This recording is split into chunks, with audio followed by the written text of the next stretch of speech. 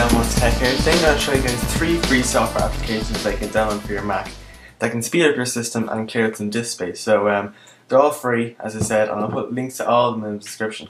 The first one here is Monolingual. I have them all in my dock here. I'll just open this up. Monolingual basically clears out any unwanted language packs off your computer.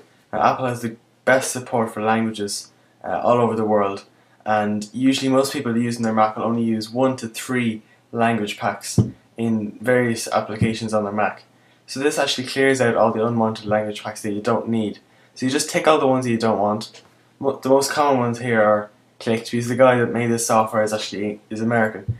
So um, you're gonna click just untick English here. I'm gonna click untick English United Kingdom, and I just have Irish unticked here as well.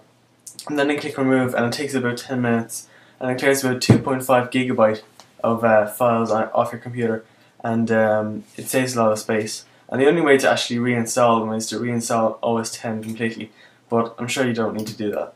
Uh, output menu is basically all the Apple keyboard layouts. There's something like Arabic and Korean and uh, I think Chinese here as well, but I removed all those. And architectures you can remove as well.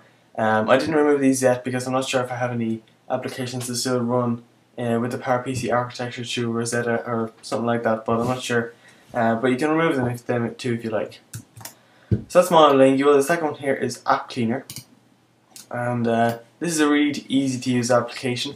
Um, it's basically an uninstaller and uh, it's different from OS 10's own install um, method because when OS 10 uninstalls an application it doesn't it usually doesn't take all the files off your Mac. There's still some files left um, in the system. So say I want to remove Handbrake here, I just drag it to App Cleaner and um, it finds all the files that are, that are associated with that application. Um, make sure it searches your whole Mac and finds all the files associated with it and then you just click delete and there you go, it's deleted off your system. And uh, you could you could always drag it into the trash there, but um, it probably won't delete all those files. Another way to do it here is click applications and you can search through your list of applications there and you can delete them that way if you want. You can also delete widgets uh, on your dashboard instead. Um, and you just take the ones you want there and just click search and then remove.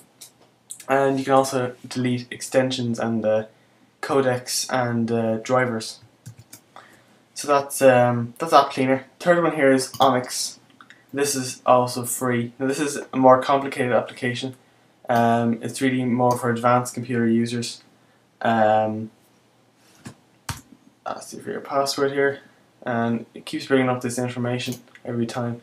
But um, what it does is actually cleans out um, the cache on certain applications. You see here, you can repair permissions, uh, rebuild scripts and stuff like that. You can clean out the cache from the boot, um, from applications from the internet. Uh, utility, you have other utilities here and automation.